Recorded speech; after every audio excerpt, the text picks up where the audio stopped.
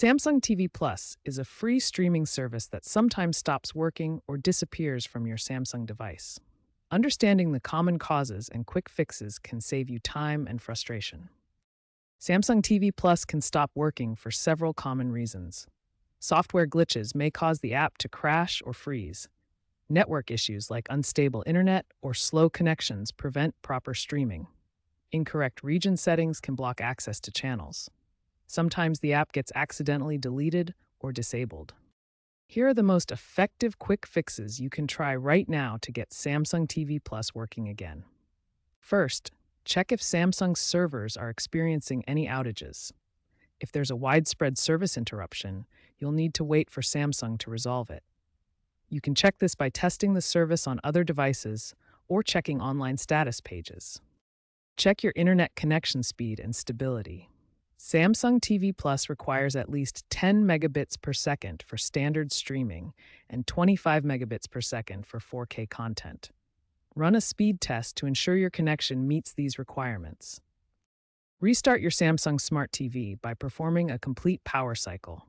Turn off the TV, unplug the power cable for at least one minute, then plug it back in and turn it on. This clears temporary glitches and refreshes the system.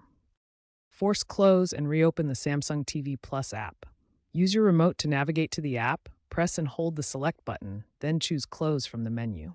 After closing, reopen the app normally. This refreshes the app and often resolves minor glitches.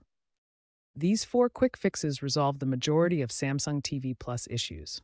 Start with checking server status, verify your internet connection, restart your TV, and close and reopen the app. Most problems will be solved with these simple steps.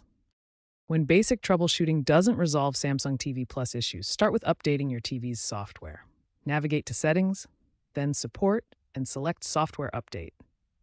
If updating doesn't help, clear the Samsung TV Plus app cache. Go to Settings, then Apps, find Samsung TV Plus, and select Storage and Cache, then Clear Cache. For more persistent issues, reset the Smart Hub navigate to Settings, Support, Self Diagnosis, then Reset Smart Hub. You'll need to enter your PIN. The default is usually 0000. If Samsung TV Plus channels are missing, press the Source button on your remote control, select Samsung TV Plus from the Sources menu, and choose Add to Home to restore it. Network issues can often be resolved by changing your DNS settings.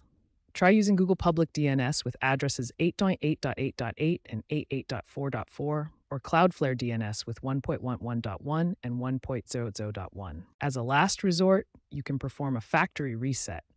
Go to Settings, then General, and select Reset. This will restore your TV to its original settings, so you'll need to set everything up again. If none of these advanced troubleshooting steps resolve your Samsung TV Plus issues, Contact Samsung support directly for personalized assistance with your specific TV model and situation.